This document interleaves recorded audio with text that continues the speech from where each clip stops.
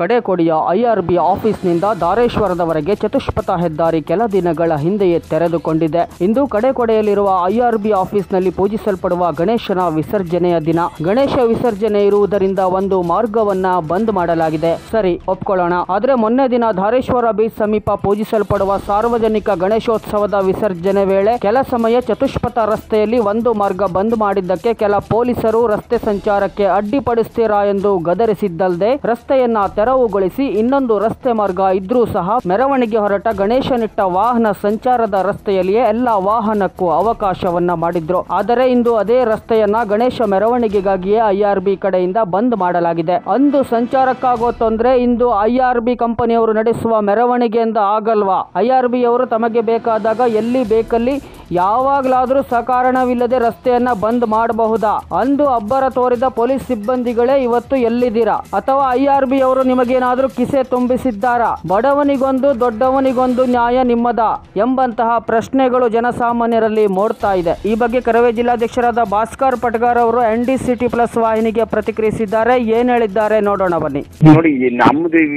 ಇದು ವಿಚಾರ ಇಷ್ಟೇ. ಅವನಿಗೊಬ್ಬ, ಇವನಿಗೊಬ್ಬ ಕಾನೂನಾತ್ಮಕವಾಗಿ ಎಲ್ಲರೂ ಒಂದೇ. ಆ ಅವ್ರಿಗೊಂದು ಕಾನೂನು ಇವ್ರಿಗೊಂದು ಕಾನೂನು ಮಾಡೋದಾದ್ರೆ ಆ? ಅಂದ್ರೆ ಬಡವರಿಗೆ ಸಾಮಾನ್ಯ ಜನರಿಗೆ ಎಲ್ಲಿಂದ ನ್ಯಾಯ ಸಿಗ್ತದೆ ಅನ್ನೋದನ್ನ ಇದ್ರಿಂದ ಕಲ್ತ್ಕೊಳ್ಬೇಕಾಗ್ತದೆ ಅಷ್ಟೇ ಬಟ್ ಈ ಐ ಆರ್ ಬಿ ಅಧಿಕಾರಿಗಳು ಮಾಡಿರುವಂತ ಈ ಧೋರಣೆ ಎಷ್ಟರ ಮಟ್ಟಿಗೆ ಸರಿ ಅನಿಸುತ್ತೆ ಅಲ್ಲ ಐ ಆರ್ ಬಿ ಅಧಿಕಾರಿಗಳು ಅನ್ನೋದಕ್ಕಿಂತ ಐ ಆರ್ ಬಿ ಯಾರು ಪರ್ಮಿಷನ್ ಕೊಟ್ಟಿದ್ದಾರೆ ಹೌದು. ಅವ್ರ ಧೋರಣೆಯನ್ನು ಫಸ್ಟ್ ಖಂಡಿಸಬೇಕು ಯಾರೇ ಇರ್ಲಿ ಅವರು ಅಲ್ವಾ ಅವರು ಐ ಆರ್ ಬಿ ಅವರು ಏನೇ ಮಾಡ್ಬೋದು ಅಂದ್ಬಿಟ್ಟು ಹ್ಮ್. ಅದನ್ನ ನಾವು ಕಳಿಸುವಂತವ್ರು ಅಧಿಕಾರ ಯಾರಿಗಿರ್ತದೆ. ಆ? ಅಧಿಕಾರ ಯಾರಿಗಿರ್ತದೆ ಅವ್ರ ನಾವು ಇದು ಮಾಡ್ಬೇಕಾಗ್ತದೆ. ಅವ್ರಿಗಲ್ಲ ಓಕೆ ಓಕೆ ಓಕೆ ಓಕೆ ಅದೇ ಬೇಜಾರು. ಅದನ್ನು ನಾವು ಹೇಳೋದು. ಈ ತರದ್ದೆಲ್ಲ ಸರಿಯಾಗ್ಬೇಕು ವ್ಯವಸ್ಥೆ. ಅಂದಾಗ ಮಾತ್ರ ಎಲ್ಲರೂ ಗೌರವಿಸ್ತಾರೆ. ಒಂದ್ ಕಾನೂನು ಇವ್ರಿಗೊಂದ್ ಕಾನೂನು ಮಾಡಿದ್ರೆ. ಇವ್ರ ಅಪ್ಪನ ಮನೆದಲ್ಲ ಕಾನೂನು.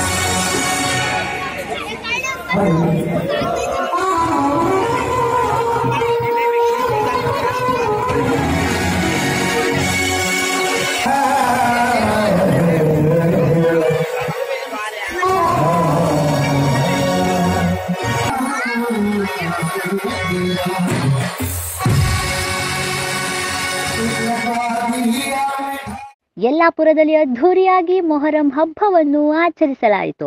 ಮಂಗಳವಾರ ಮಧ್ಯಾಹ್ನ ತಿಳಕ್ ಚೌಕದ ಪಕ್ಕದಲ್ಲಿರುವ ಮೊಹರಂ ಗದ್ದುಗೆಯಿಂದ ಡೋಲಿ ಹಾಗೂ ಪಂಜಾಗಳ ಮೆರವಣಿಗೆ ತೆರಳಿ ಪಟ್ಟಣದ ಪ್ರಮುಖ ಬೀದಿಗಳಲ್ಲಿ ಸಂಚರಿಸಿತು. ಮುಸ್ಲಿಂ ಸಮಾಜದವರಲ್ಲದೆ ಇನ್ನಿತರ ಸಮಾಜದವರು ಈ ಮೊಹರಂ ಮೆರವಣಿಗೆಯಲ್ಲಿ ಪಾಲ್ಗೊಂಡಿದ್ದು ಸುಮಾರು ಮೂವತ್ತಕ್ಕೂ ಹೆಚ್ಚು ಪಂಜಾಗಳು ಹಾಗೂ ಎರಡು ಡೋರಿಗಳು ಮೆರವಣಿಗೆಯಲ್ಲಿ ವಿಶೇಷ ಆಕರ್ಷಣೆಯ ಕೇಂದ್ರಬಿಂದುಗಳಾಗಿದ್ದವು. ಮೆರವಣಿಗೆಯ ಉದ್ದಕ್ಕೂ ಧೂಪದ ಹೊಗೆ ಹಾಕಿ ಬೆಲ್ಲ ಸಕ್ಕರೆಯ ನೈವೇದ್ಯ ಮಾಡಲಾಯಿತು. ಮೆರವಣಿಗೆ ನಡೆಯುವ ರಸ್ತೆಯುದ್ದಕ್ಕೂ ಸಾರ್ವಜನಿಕರು ರಸ್ತೆಯ ಅಂಚಿನಲ್ಲಿ ನಿಂತು ಮೆರವಣಿಗೆಯನ್ನು ವೀಕ್ಷಿಸಿದರು. ಪೊಲೀಸ್ ನಿರೀಕ್ಷಕರಾದ ಡಾಕ್ಟರ್ ಮಂಜುನಾಥ್ ನಾಯಕ್ ಹಾಗೂ ಸಿಬ್ಬಂದಿಗಳು ಮೆರವಣಿಗೆಗೆ ಸೂಕ್ತ ಭದ್ರತೆಯನ್ನು ಒದಗಿಸಿದರು.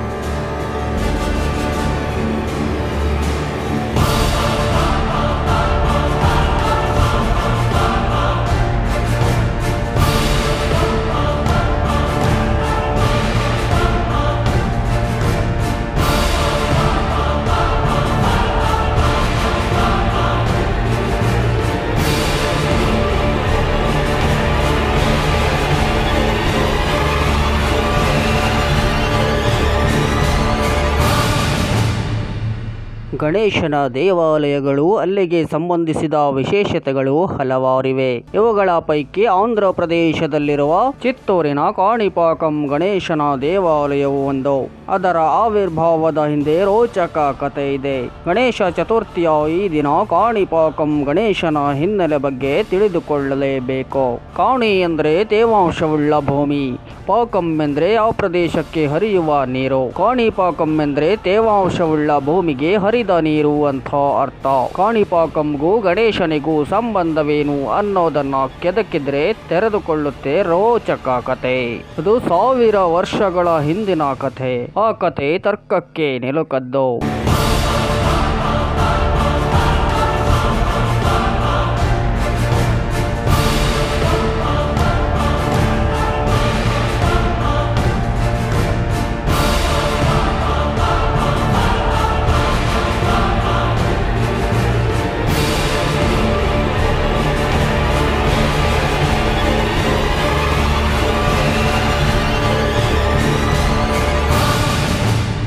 ದೇವಾಲಯವಿರುವ ಪ್ರದೇಶದಲ್ಲಿ ಸಹಸ್ರ ವರ್ಷಗಳ ಹಿಂದೆ ಮೂರು ಸಹೋದರರು ಕೃಷಿ ಮಾಡುತ್ತಿದ್ದರು. ಮೂವರು ಸಹೋದರರು ವಿಶೇಷ ಚೇತನರಾಗಿದ್ದರು. ಓರ್ವನಿಗೆ ದೃಷ್ಟಿದೋಷ, ಮತ್ತೋರ್ವ ಸಹೋದರನಿಗೆ ಕಿವಿ ಸಮಸ್ಯೆ, ಇನ್ನೋರ್ವನಿಗೆ ಮಾತು ಬರ್ತಾನೆ ಇರಲಿಲ್ಲ. ವಿಹಾರಪುರಿ ಗ್ರಾಮದಲ್ಲಿ ಜೀವಿಸುತ್ತಿದ್ದ ಈ ಸಹೋದರರು ಕೃಷಿ ಮಾಡುತ್ತಿದ್ದಾಗ ಬಾವಿ ಬತ್ತಿರೋದು ಗಮನಕ್ಕೆ ಬಂತು. ಓರ್ವ ಬಾವಿಯೊಳಗೆ ಇಳಿದು ನೀರಿಗಾಗಿ ಮತ್ತಷ್ಟು ಆಳ ಕೊರೆಯೋಕೆ ಪ್ರಾರಂಭ ಮಾಡ್ದ. ಕೆಲಸ ಪ್ರಾರಂಭ ಮಾಡ್ತಾ ಇದ್ದಂತೆ ನೀರು ಸಿಕ್ಕಿತ್ತು. ಆದರೆ ಕಾಮಗಾರಿಗೆ ಬಳಸಿದ್ದ ಉಪಕರಣಕ್ಕೆ ನೀರಿನಲ್ಲಿ ಮತ್ತೊಂದು ಘನವಸ್ತು ಸ್ಪರ್ಶವಾಗಿತ್ತು ಅಂತ ತಿಳಿಯತ್ತೆ. ನೋಡ ನೋಡ್ತಿದ್ದಂತೆ ಆ ಘನವಸ್ತು ಮೇಲಕ್ಕೆ ಬಂತು. ಅಷ್ಟೇ ಅಲ್ಲ, ಈ ಪ್ರದೇಶದಲ್ಲಿ ರಕ್ತದ ಮಡು ಕಾಣಿಸತೊಡಗಿತ್ತು. ಆ ರಕ್ತ ಇವರ ಮೈಗೆ ಚಿಮ್ತಾ ಇದ್ದಂಗೆನೆ ಸಹೋದರರ ಅಂಗವೈಕಲ್ಯನೂ ಮಾಯ ಆಗ್ಬಿಡುತ್ತೆ. ಈ ಸುದ್ದಿ ಊರಿಗೆಲ್ಲ ಹರಡ್ತಾ ಇದ್ದಂತೆ ಜನಸ್ತೋಮವೇ ಈ ಪ್ರದೇಶಕ್ಕೆ ಹರಿದು ಬಂತು. ಏನಾಶ್ಚರ್ಯ ಈ ಪ್ರದೇಶದಲ್ಲಿ ಗಣಪತಿಯ ವಿಗ್ರಹ ಉದ್ಭವವಾಗಿದೆ. ಈ ಉದ್ಭವ ಗಣಪತಿಯನ್ನ ನೋಡಿದ ಗ್ರಾಮಸ್ಥರು ತೆಂಗಿನಕಾಯಿ ಎಳನೀರಿನಿಂದ ವಿಗ್ರಹಕ್ಕೆ ಪೂಜೆ, ಅಭಿಷೇಕಗಳನ್ನ ನೆರವೇರಿಸ್ತಾರೆ. ಎಳನೀರಿನ ಕೋಡಿ ಕೃಷಿ ಭೂಮಿಯ ಒಂದಷ್ಟು ಜಾಗದ ತುಂಬಾ ಹರಿಯತೊಡಗಿತು. ಈ ಘಟನೆಯೇ ಕಾಣಿಪಾಕಂ ಎಂಬ ಹೆಸರು ಬರೋಕೆ ಕಾರಣವಾಯಿತು. ಅಂದಿನಿಂದ ಈ ಉದ್ಭವ ಗಣೇಶನನ್ನ ಕಾಣಿಪಾಕಂ ವರಸಿದ್ಧಿ ವಿನಾಯಕ ಅಂತಾನೆ ಕರೆಯೋಕೆ ಶುರು ಮಾಡಿದ್ರು. ಘಟನೆ ನಡೆದಾಗ ವಿಗ್ರಹ ಎಲ್ಲಿ ಉದ್ಭವವಾಗಿತ್ತೋ ಇಂದಿಗೂ ಅದೇ ಜಾಗದಲ್ಲಿದೆ. ಬಾವಿಯ ಮೇಲ್ಭಾಗದಲ್ಲಿ ಗಣೇಶನ ಗರ್ಭಗುಡಿ ಇದೆ. ಮುಂಗಾರಿನ ವೇಳೆ ಉಕ್ಕಿ ಹರಿಯುವ ಇಲ್ಲಿನ ನೀರನ್ನ ಭಕ್ತಾದಿಗಳಿಗೆ ತೀರ್ಥದ ರೂಪದಲ್ಲಿ ವಿತರಿಸಲಾಗುತ್ತೆ. ಈ ಬಾವಿಯ ನೀರು ಎಂದಿಗೂ ಬತ್ತದೇ ಇರೋದು ಇಲ್ಲಿನ ಮತ್ತೊಂದು ವೈಶಿಷ್ಟ್ಯ. ಉದ್ಭವವಾದ ದಿನದಿಂದಲೂ ಗಣೇಶನ ವಿಗ್ರಹ ಬೆಳೀತಾನೇ ಇದೆ. ಐವತ್ತು ವರ್ಷಗಳ ಹಿಂದೆ ಇಲ್ಲಿಗೆ ಭಕ್ತಾದಿಗಳು ಸಮರ್ಪಣೆ ಮಾಡಿದ್ದ ಬೆಳ್ಳಿಯ ಕವಚ ಇಂದು ಈ ವಿಗ್ರಹಕ್ಕೆ ಹಿಡಿಸದೇ ಇರೋದು ವಿಗ್ರಹ ಬೆಳೆಯುತ್ತಿರುವುದಕ್ಕೆ ಸಾಕ್ಷಿ ಅಂತಾರೆ ಸ್ಥಳೀಯರು. ಸಾಮಾನ್ಯವಾಗಿ ವಿದ್ಯಾಪ್ರದಾಯಕನಾಗಿರುವ ಗಣೇಶ ಕಾಣಿಪಾಕಮ್ಮನಲ್ಲಿ ನ್ಯಾಯದಾನವನ್ನು ಕೂಡ ನೀಡ್ತಾನೆ. ಕೇಳಿದರೆ ಸ್ವಲ್ಪ ಅಚ್ಚರಿ ಅಂತಾನೆ ಅನಿಸ್ಬಹುದು ಆದರೆ ಇಲ್ಲಿಗೆ ಬರುವ ಹಲವು ಮಂದಿ ಪುಣ್ಯಪ್ರದವಾದ ಬಾವಿಯಲ್ಲಿ ಮಿಂದೆದ್ದು ಪರಸ್ಪರ ವಿವಾದಗಳನ್ನು ಬಗೆಹರಿಸಿಕೊಳ್ಳುವ ಸಂಪ್ರದಾಯ ನಡೆದು ಬಂದಿದೆ. ಪವಿತ್ರ ಸ್ನಾನವನ್ನ ಮುಗಿಸಿ ಗಣಪತಿಯ ಮುಂದೆ ಬಂದು ಪ್ರಮಾಣ ಮಾಡ್ತಾರೆ. ಎಷ್ಟೋ ಪ್ರಕರಣಗಳಲ್ಲಿ ತಪ್ಪಿತಸ್ಥರು ದೇವಾಲಯ ಪ್ರವೇಶಿಸುವುದಕ್ಕೂ ಮುನ್ನ ತಮ್ಮ ತಪ್ಪನ್ನ ಒಪ್ಪಿ ತಿದ್ದಿ ನಡೆದುಕೊಂಡಿರುವ ಉದಾಹರಣೆಗಳು ಇವೆಯಂತೆ. ಹೀಗೆ ವಿದ್ಯಾ ಬುದ್ಧಿ ಜೊತೆ ಇಲ್ಲಿನ ಗಣೇಶ ನ್ಯಾಯಪ್ರದಾತನಾಗಿರುವುದು ಈ ದೇವಾಲಯದ ವಿಶೇಷತೆಗಳಲ್ಲಿ ಒಂದು. ಇನ್ನು ಇಲ್ಲಿ ಗಣೇಶ ಚತುರ್ಥಿಯನ್ನು ಇಪ್ಪತ್ತು ದಿನಗಳ ಕಾಲ ವಿಜೃಂಭಣೆಯಿಂದ ಆಚರಿಸಲಾಗುತ್ತೆ.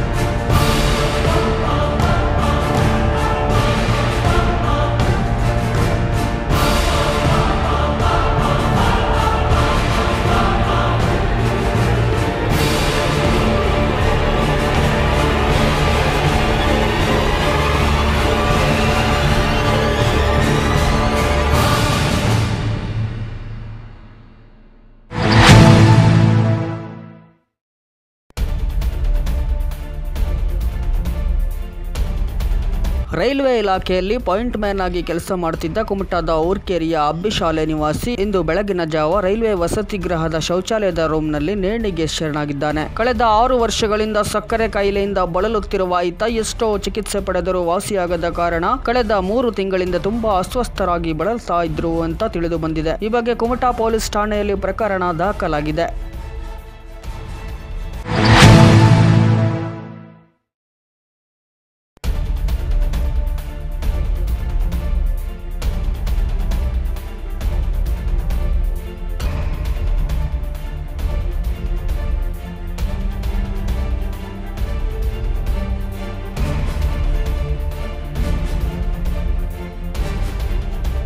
ಕುಮಟಾ ತಾಲೂಕಿನ ಧಾರೇಶ್ವರದಲ್ಲಿರುವ ರಿಲೇಬಲ್ ಕ್ಯಾಶು ಬೃಹತ್ ಇಂಡಸ್ಟ್ರಿಯನ್ನ ಏಕಾಏಕಿ ಮುಚ್ಚಿರುವ ಹಿನ್ನೆಲೆಯಲ್ಲಿ ಇಲ್ಲಿನ ನೂರಾರು ಕಾರ್ಮಿಕರು ಫ್ಯಾಕ್ಟರಿಯ ಎದುರು ಪ್ರತಿಭಟನೆಯನ್ನ ನಡೆಸಿದ್ರು.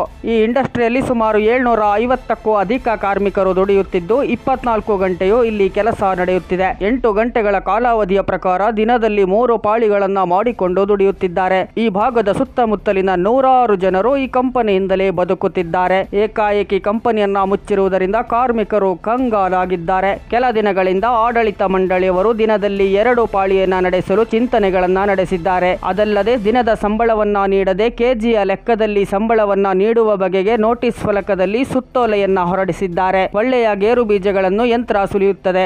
ಆದರೆ ಯಂತ್ರದಿಂದ ಆಗದ ಬೀಜವನ್ನ ಕಾರ್ಮಿಕರೇ ಸುಲಿಯಬೇಕಾಗುತ್ತದೆ. ಒಳ್ಳೆಯ ಬೀಜಗಳನ್ನ ಕಾರ್ಮಿಕರ ಕೈಗೆ ನೀಡಿದ್ದಲ್ಲಿ ಕಂಪನಿಯು ನಿಗದಿಪಡಿಸಿದಷ್ಟು ಬೀಜವನ್ನ ಕಾರ್ಮಿಕರು ಸುಲಿಯಲು ಸಾಧ್ಯವಿದೆ. ಆದರೆ ಕೆಟ್ಟ ಬೀಜವನ್ನ ಕಾರ್ಮಿಕರ ಕೈಗೆ ನೀಡಿದಾಗ ಕಂಪನಿ ನಿಗದಿಪಡಿಸಿದಷ್ಟು ಬೀಜವನ್ನು ಸುಲಿಯಲು ಸಾಧ್ಯವಾಗುವುದಿಲ್ಲ ಇದರಿಂದ ಕಾರ್ಮಿಕರಿಗೆ ಸಿಗುವ ಸಂಬಳಗಳು ಕಡಿಮೆಯಾಗುತ್ತಿದೆ ಎಂಬುದು ಕಾರ್ಮಿಕರ ಅಳಲಾಗಿದೆ. ನಂತರ ಮಾಧ್ಯಮದವರೊಂದಿಗೆ ಉತ್ತರ ಕನ್ನಡ ಜಿಲ್ಲೆಯ ಕ್ಯಾಶು ಇಂಡಸ್ಟ್ರಿ ಎಂಪ್ಲಾಯೀಸ್ ಯೂನಿಯನ್ ಅಧ್ಯಕ್ಷ ತಿಲಕಗೌಡ ಮಾತನಾಡಿ, ಆಡಳಿತ ವರ್ಗವು ತುಂಡು ಮೌಲ್ಯದ ಕೆಲಸ ಮತ್ತು ಮೂರು ಪಾಳಿಯ ಬದಲು ಎರಡು ಪಾಳಿ ಮಾಡಬೇಕೆಂದು ನೋಟಿಸ್ ಬೋರ್ಡ್ಗೆ ಹಾಕಿರುವುದು ಸರಿಯಲ್ಲ. ಈ ವಿಷಯವು ಸಂಘದ ಗಮನಕ್ಕೆ ಬಂದ ತಕ್ಷಣ ಸಂಘದ ಮುಖಂಡರು ಆಡಳಿತ ವರ್ಗವನ್ನು ಸಂಪರ್ಕಿಸಿ ವಿಷಯದ ಕುರಿತು ಚರ್ಚಿಸಿ ಸೂಕ್ತ ನಿರ್ಣಯ ತೆಗೆದುಕೊಳ್ಳಬೇಕೆಂದು ಕೇಳಿಕೊಂಡರೂ ಆಡಳಿತ ವರ್ಗ ಸ್ಪಂದಿಸುತ್ತಿಲ್ಲ. ಕಂಪನಿ ಮುಚ್ಚೋದು ಸರಿಯಲ್ಲ. ಸಾಕಷ್ಟು ಜನರು ಇಲ್ಲಿನ ಕೆಲಸವನ್ನೇ ನಂಬಿಕೊಂಡು ಜೀವನ ಸಾಗಿಸುತ್ತಿದ್ದಾರೆ. ಆದರೆ ಅವರು ಕೊಡುತ್ತಿರುವ ಸಂಬಳಕ್ಕೆ ದುಡಿಯಲು ಸಾಧ್ಯವಿಲ್ಲ. ಸರ್ಕಾರದ ನಿಯಮದ ಪ್ರಕಾರ ಇಲ್ಲಿಯ ಕಾರ್ಮಿಕರು ಸಂಘವನ್ನ ನೋಂದಣಿ ಮಾಡಿಸಿಕೊಂಡಿದ್ದಾರೆ. ಹೀಗಾಗಿ ಆಡಳಿತ ಮಂಡಳಿಯು ಸಂಘದೊಂದಿಗೆ ಸೌಹಾರ್ದಯುತ ಸಂಬಂಧವನ್ನ ಹೊಂದಿರಬೇಕಾಗುತ್ತದೆ. ಸರ್ಕಾರದ ನಿಯಮದ ಪ್ರಕಾರ ಕನಿಷ್ಠ ಕೂಲಿಯನ್ನಾದರೂ ನೀಡಬೇಕು ಅಂತ ಹೇಳಿದ್ರು. Assistant labour commissioner Meena Kumari Patil ಅವರ ಅಧ್ಯಕ್ಷತೆಯಲ್ಲಿ ಆಡಳಿತ ವರ್ಗ ಹಾಗೂ ಕಾರ್ಮಿಕರ ನಡುವೆ ಸಂಧಾನ ಮಾತುಕತೆ ನಡೆಯಿತು. ಕಾರ್ಮಿಕರಿಂದ ಎಲ್ಲಾ ರೀತಿಯ ಮಾಹಿತಿಯನ್ನ ಪಡೆದುಕೊಂಡು ಆಡಳಿತ ವರ್ಗದವರ ಸಮಸ್ಯೆಯನ್ನ ಆಲಿಸಿದರು. ನಂತರ ಮಾತನಾಡಿದ ಅವರು ಆಡಳಿತ ವರ್ಗದವರು ಮಾಲೀಕರೊಂದಿಗೆ ಚರ್ಚಿಸಿ ಫ್ಯಾಕ್ಟರಿಯನ್ನ ಪ್ರಾರಂಭಿಸಬೇಕು. ನಂತರ ಕಂಪನಿಯಲ್ಲಿಯೇ ಕುಳಿತು ಕಾರ್ಮಿಕರ ಹಾಗೂ ಮಾಲೀಕರ ಸಮಸ್ಯೆಗೆ ಪರಿಹಾರವನ್ನ ಹುಡುಕಬಹುದು. ನಾಳೆಯ ಕಂಪನಿಯನ್ನ ಪ್ರಾರಂಭಿಸುವಂತೆ ಸೂಚಿಸಿದ್ರು.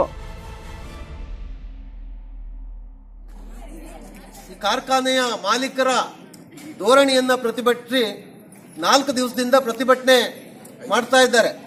ಇವತ್ತು ಐದನೇ ದಿವಸ ಕಾಲಿಟ್ಟಿದೆ ಈಗಾಗಲೇ ತಮಗೆಲ್ಲ ಗೊತ್ತಿರುವ ಹಾಗೆ ಮಧ್ಯ ಪ್ರ- ಪ್ರವೇಶ ಮಾಡಬೇಕಾದಂಥ ಕಾರ್ಮಿಕ ಇಲಾಖೆ ಇನ್ನೂ ಕೂಡ ತಡವಾಗಿ ಇವತ್ತು ಮಧ್ಯ ಪ್ರವೇಶ ಮಾಡಲಿಕ್ಕೆ ಸಾಧ್ಯ ಆಗಿದೆ. ಈಗಾಗಲೇ ಕಾರ್ಮಿಕ ಇಲಾಖೆಯ assistant labour commissioner, deputy labour commissioner ಬರಬೇಕಿತ್ತು.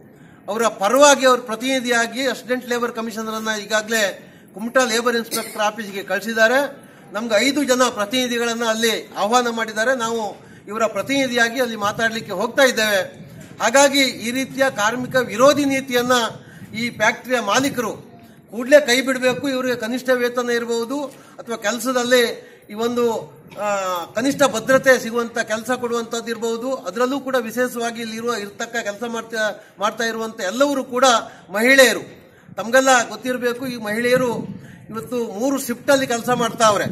ಒಂದು ಶಿಫ್ಟ್ ಬೆಳಿಗ್ಗೆ ಎಂಟು ಗಂಟೆಗೆ ನಾಲ್ಕು ಗಂಟೆಗೆ, ಬೆಳಿಗ್ಗೆ ನಾಲ್ಕು ಗಂಟೆಗೆ ಬಂದ್ರೆ ಅವ್ರು ಹನ್ನೆರಡು ಗಂಟೆಗೆ ರಿಟರ್ನ್ ಹೋಗ್ತಾರೆ.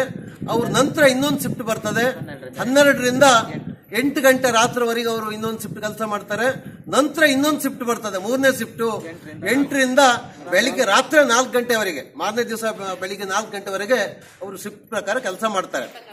ವಿಶೇಷವಾಗಿ ಸುಮಾರು ಟ್ವೆಂಟಿ ಫೋರ್ ಅವರ್ಸ್ ಕಂಟಿನ್ಯೂ ಇಲ್ಲಿ ವರ್ಕ್ ನಡೀತದೆ. ಇದು ದೊಡ್ಡ ಇಂಡಸ್ಟ್ರಿ ಹಾಗಾಗಿ ಇಲ್ಲಿ ಕೆಲಸ ಮಾಡುವಾಗ ಕನಿಷ್ಠ ಕಾರ್ಮಿಕ ಕಾನೂನುಗಳು ಜಾರಿ ಮಾಡಬೇಕು ಅನ್ನುವ ಪರಿಕಲ್ಪನೆ ಇಲ್ಲದೆ ಇವತ್ತು ಒಂದು ರೀತಿ ಇವರನ್ನ ಇವ್ರ ಮೇಲೆ ದಬ್ಬಾಳಿಕೆ ನಡೆಸುವಂತದ್ದು ಇರಬಹುದು ಏಕಾಏಕಿ ಸೂಚನಾ ಫಲಕಕ್ಕೆ ನೋಟಿಸ್ ಹಾಕೋದು, ನೀವು ಹೀಗೆ ಮಾಡಬೇಕು ಅಂತ ಹೇಳುವ ಒಂದು ತಪ್ಪು ನೀತಿಯನ್ನು ಇವತ್ತು ಇವ್ರ ಮೇಲೆ, ತಪ್ಪು ಧೋರಣೆಗಳನ್ನು ಇವ್ರ ಮೇಲೆ ಹೇರುವಂತದ್ದು ಇದನ್ನ ಕೈ ಬಿಡಬೇಕು ಅಂತ ಹೇಳಿ ಸುಮಾರು ಐದು ದಿವಸದಿಂದ ಇವತ್ತು ಮುಷ್ಕರ ನಡೀತಾ ಇದೆ. ಹಾಗಾಗಿ ಕೂಡಲೇ ಇತ್ಯರ್ಥ ಆಗಬೇಕು. ಇಲ್ಲ ಅಂತಂದ್ರೆ ಕಾರ್ಮಿಕರು ದೊಡ್ಡ ಪ್ರಮಾಣದಲ್ಲಿ ಇವತ್ತು ಪ್ರತಿಭಟನೆ ಮಾಡುವಂತ ನಿರ್ಧಾರಕ್ಕೆ ಹೋಗ್ಬೇಕಾಗ್ತದೆ. ಹಾಗಾಗಿ ಎಲ್ಲ ಈ ವ್ಯವಸ್ಥೆಗೆ ಸಂಬಂಧಪಟ್ಟು ಲೇಬರ್ ಲೇಬರ್ ಡಿಪಾರ್ಟ್ಮೆಂಟ್ನವರು ಮಧ್ಯಪ್ರವೇಶ ಮಾಡಿದ್ದಾರೆ. ಏನು ಬೆಳವಣಿಗೆ ಆಗ್ತದೆ ಅಂತೇಳಿ ನಾವು ಕಾದು ನೋಡ್ತೇವೆ ಇವತ್ತು ಸಾಯಂಕಾಲದೊಳಗಡೆ. ಇಲ್ಲ ಅಂತಂದ್ರೆ ಈ ಮುಷ್ಕರಕ್ಕೆ ನಾಳೆಯಿಂದ ಬೇರೆ ತಿರುವುಗಳು ಬರ್ತದೆ ಅಂತ ಹೇಳುವ ಸಂದೇಶವನ್ನ ಇವತ್ತು ಪತ್ರಿಕೆ ಮೂಲಕ, ಮಾಧ್ಯಮದ ಮೂಲಕ ನಾವು ಹೇಳಲಿಕ್ಕೆ ಇಷ್ಟಪಡ್ತೇವೆ ಅಂತೇಳಿ ನಾನು ಹೇಳ್ತಾ ಇಲ್ಲಿ ಯೂನಿಯನ್ ಆಗಿದೆ.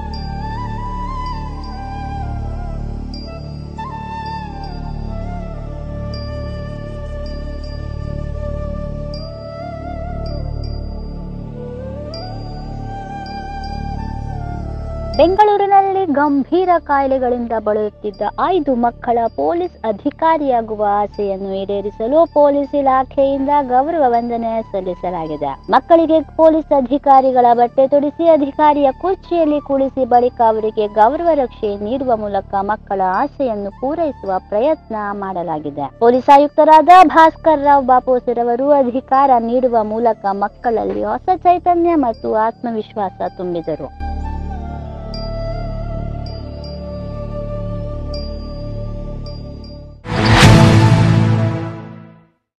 ಕಳೆದ ಒಂದು ವರ್ಷದಿಂದ ಯಲ್ಲಾಪುರದ ಪೊಲೀಸ್ ಠಾಣೆಯಲ್ಲಿ ಉಪನಿರೀಕ್ಷಕರಾಗಿ ಕಾರ್ಯನಿರ್ವಹಿಸಿ ಪದೋನ್ನತಿ ಹೊಂದಿದ ಚಂದ್ರಶೇಖರ್ ಹರಿಹರ ಅವರಿಗೆ ಸೋಮವಾರ ಸಂಜೆ ಯಲ್ಲಾಪುರ ಪೊಲೀಸ್ ಠಾಣೆಯಲ್ಲಿ ಬೀಳ್ಕೊಡುಗೆ ಕಾರ್ಯಕ್ರಮವನ್ನು ಹಮ್ಮಿಕೊಳ್ಳಲಾಗಿತ್ತು. ಚಂದ್ರಶೇಖರ್ ಹರಿಹರ ಅವರಿಗೆ ಸನ್ಮಾನಿಸಿ ಮಾತನಾಡಿದ ಪೊಲೀಸ್ ನಿರೀಕ್ಷಕ ಡಾಕ್ಟರ್ ಮಂಜುನಾಥ್ ನಾಯಕ್, ತಾವು ಈ ಹಿಂದೆ ಕೂಡ ಅವರ ಜೊತೆ ಕೆಲಸ ಮಾಡಿದ್ದು ಚಂದ್ರಶೇಖರ್ ಹರಿಹರ ಅವರು ದಕ್ಷ ಅಧಿಕಾರಿ. ಯಲ್ಲಾಪುರದ ಹಲವಾರು ಘಟನಾವಳಿಗಳನ್ನು ಎದುರಿಸಿ ಸಮಸ್ಯೆಗಳನ್ನು ಬಗೆಹರಿಸಿದ್ದರು. ಮೇಲಾಧಿಕಾರಿಗಳು ಹಾಗೂ ಸಿಬ್ಬಂದಿಗಳನ್ನು